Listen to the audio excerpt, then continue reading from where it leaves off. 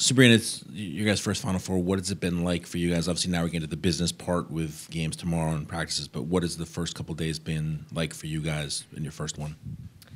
Um, I mean, it's been filled with a lot of fun. We we didn't really know what to expect coming in, and just you know landing and having a red carpet laid out, and you know us walking off. I think we've we've smiled so much this whole um, week, these last few days for sure, and we're definitely just enjoying um, the moment, enjoying the experience and everything that it has to offer. But um, you know now it's game time. We're focusing on the game, but we're not really going to change who we are. We're still going to enjoy and be really appreciative of the position that we're in.